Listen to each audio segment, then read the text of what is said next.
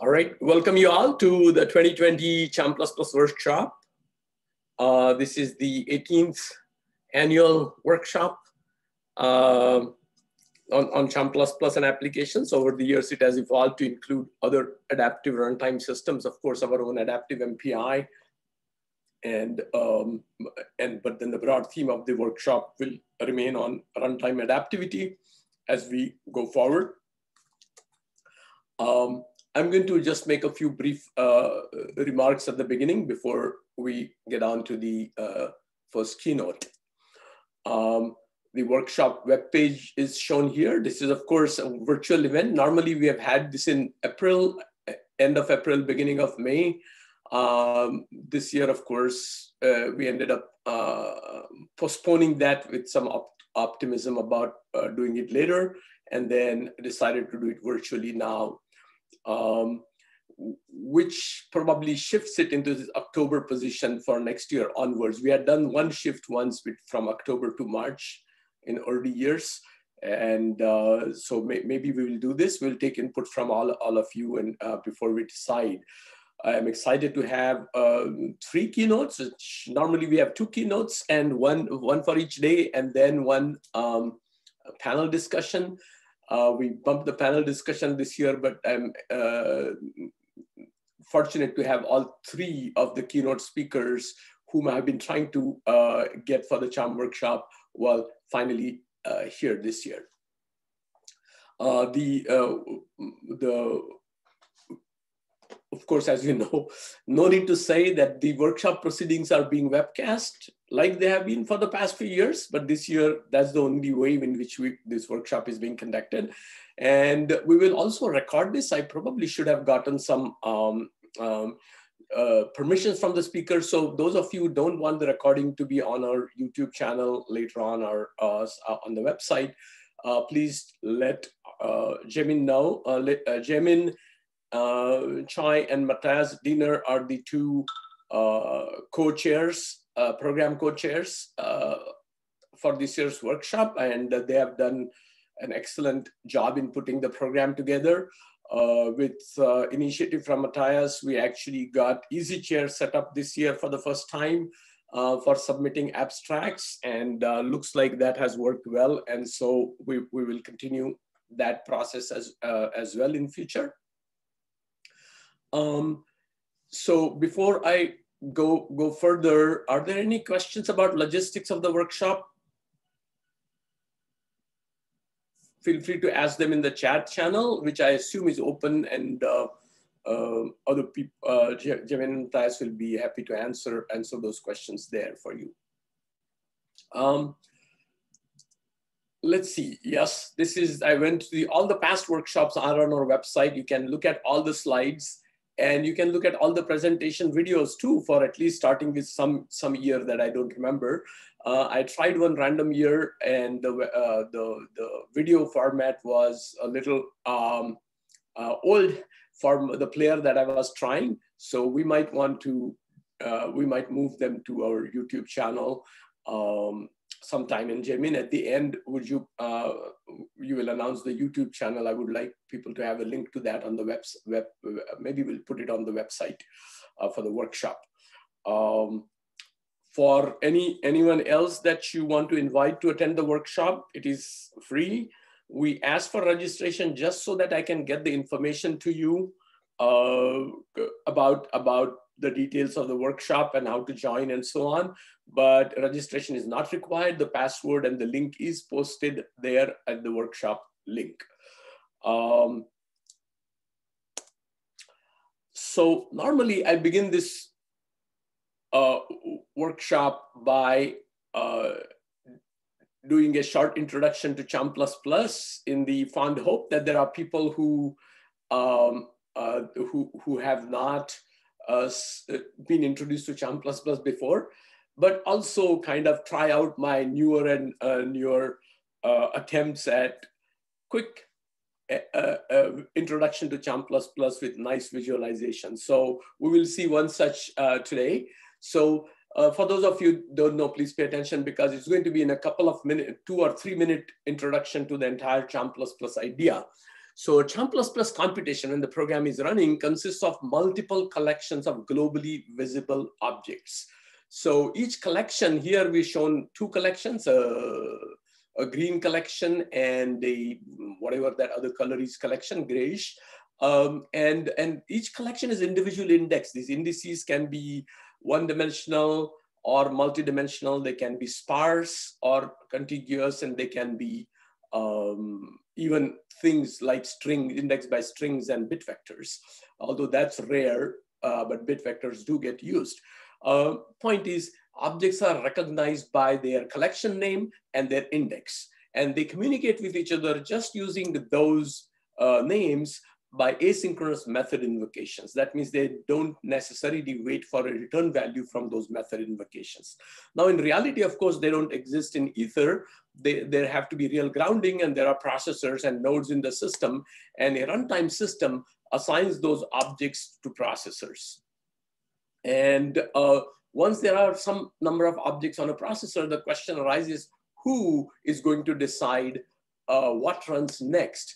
And uh, for that, uh, there is a scheduler. So first point first, programmers don't need to know where an object you want to communicate with is located. Second, who runs next is decided by the scheduler and whoever runs next runs their method invocations pre, non-preemptively. So scheduling is under the control of a user space scheduler, uh, and it works with a one or more queues of messages. Uh, suppose this top object uh, on processor zero wants to communicate with the bottom right object uh, uh, somewhere here. Well, it doesn't know where it is, but it knows its index and it, uh, it carries out, it hands over the method invocation for a sub uh, 23 to the runtime system, which packages it, puts it in an envelope with the right address, uses a distributed location manager to tentatively figure out where it is. Almost always it is correct, uh, uh, but, it, but there are protocols to handle when it is not correct. And then the uh, message gets sent to that processor where it sits wait, patiently waiting for its uh, turn in the queue. When the scheduler eventually picks it up, it invokes the method, it finds out the object is still, if it is still there, otherwise forwards the message to it, uh, delivers the invocation, lets it run to completion. In the process, it might generate more messages that go to the other processors and executions uh, continue on in this fashion. Now, the runtime system knows some objects are heavy, some objects are light, who is talking to whom, and using that information, it can migrate uh, objects around to accomplish things such as load balancing, things such as shrinking and expanding set of nodes used by the, uh, by the simulation, and so on. So this is where you get most of the flexibility. And this picture is meant to say, and the objects continue computing like that um, happily um, ever after. So, uh, so that's the execution model of Charm++. Uh, underneath Charm++, and this whole message-driven execution is enabled by a system called Converse. Converse is a system that has, uh, that schedules uh, tasks, you might call today, and these work units can be user-level threads as well as stackless tasks, which we can call tasklets. Um, and, and this scheduler, which is running on each hardware thread, if there is two-way SMT, you can run it on each of them, for example. And this fine-grained scheduler is one of the reasons and one of the um, reasons for the full flexibility that the whole runtime system offers. Converse is from 1996. It's still being used in Charm++. Um, if you want to look for a modern equivalent, uh, it's Argobots uh, we participated in the design of Argobots. Uh, eventually, if we, if some of the things that we are thinking about work out, then eventually we may merge into Ar Ar Argobots, converse into Argobots and use that for Charm++. But uh, functionality-wise, Converse has accumulated significant uh, different functionalities that are needed by the Charm++ ecosystem, including for adaptive MPI, which is an MPI implemented on top of uh, Charm++, these user level threads are migratable across nodes. And that's a capability we need to add and, and a few others. Um, so, so that's the basic charm execution model. And as uh, I've shown before, these ideas of over decomposition in CHARM++ and message driven execution and migratability and based on that, inter introspective and adaptive runtime system actually lead to a variety of benefits, uh, including like power and energy optimizations or fault tolerance, I already mentioned dynamic load balancing. And the fact that you know what's running next can lead to a variety of things like perfect prefetch and so on and so forth. Um, so, so these capabilities are mentioned here. Um, some of them then uh, the programming systems developed on top of this runtime is, of course, in addition to CHARM++, Plus there is Adaptive MPI, which is a full-fledged MPI implementation. I will say a bit more about it uh, later. Charm4py, which, can, uh, which is evolving towards a uh, well-supported uh, implementation at CharmWorks. Charades, which is uh, being renamed to CharmDes, which is a discrete event simulation uh, system. And then there are several experimental languages, and you'll hear a bit about them in the workshop uh, as well. Uh, and I, I, really, those of you into language design, uh, um, and Converse are an excellent substrate for designing your own uh, higher level languages with adaptive runtime basis. Um, one of the uh, uh, useful things you can uh, you get from that is composability. Different modules can interleave their execution uh, on nodes uh, when they're written with this run message-driven runtime system.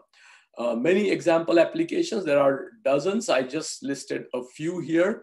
of the most well-known, maybe NAMD, but there are several, several others, and you hear from some of them today and tomorrow.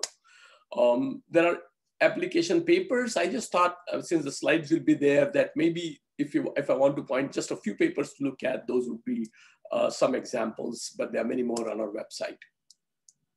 Um, so, well, I, and just a brief a point about uh, current state. We have work on energy control by turning cores on and off dynamically that happened last year. Adaptive MPI is now substantially uh, improved and uh, at a point where you can just use it for your MPI application without worrying too much uh, about anything, you, uh, we have automatic ways of running MPI code virtualized. That's one thing that MPI, AMPI needs is encapsulation of your global variables, which is a good thing in general, but most codes don't have it and we provide it automatically. New codes can easily accommodate this uh, in, in the way they write it. So as with standard compliance, with performance, with automatic ways of uh, uh, running MPI codes, it is uh, well uh, near a production uh, system and being used. Um, communication optimizations is something that I hope you'll hear a bit about in the uh, in the uh, in the workshop. But uh, the over decomposition automatically gives you the ability to spread communication over time. But multiple cores and GPGPUs add some nuances to it. You will hear about that. Um, I, I will, since I'm running out of time, I will not uh, say much about this. Then some grants uh, I will mention um, Astro Trees for uh, cosmology prevents is for uh, storm surge simulations uh, and energy optimization at AMPI I already mentioned. Uh, Michael Robson's PhD thesis was finished last year and you will hear from uh, that project as well. And at CharmWorks, uh, there are many projects that are proceeding. Um, the, uh, the, in addition to the AMPI, which we will be renamed uh, and relaunched as Charm MPI and Charades, which will be uh, launched as CharmDes. Um, and, and, and, so those are the things that are coming from CharmWorks. Uh, probably worth clarifying the relationship with CharmWorks. CharmWorks is a spin-off from, uh, from our university research group. Uh, and the hope is that it will do more engineering uh, work there and leave us to do research uh, in, in, our, uh, in our group, although historically the strength of our research group has been the engineering work that we do. So we'll hopefully continue to do that uh, as, as well at, at Illinois. Uh, the versions, the CHARM++ is, uh, and, is certainly available for all nonprofits through the university. And that will continue to be so. And we are merging up all the work that we are doing at CharmWorks so far. I'm uh, announcing a weekly webinar series starting next week, but the details of that are not quite fixed. So uh, watch this space. Uh, maybe by tomorrow I'll fix some details and announce them. Uh, the workshop itself, um, we have a keynote by uh, Jeffrey Vetter today. We have um, talks on CFD, um, on, on, the Quinoa project, we, uh, and by Joseph Bakosi's team, we have Lawrence Rauchwerger talk about his graph processing.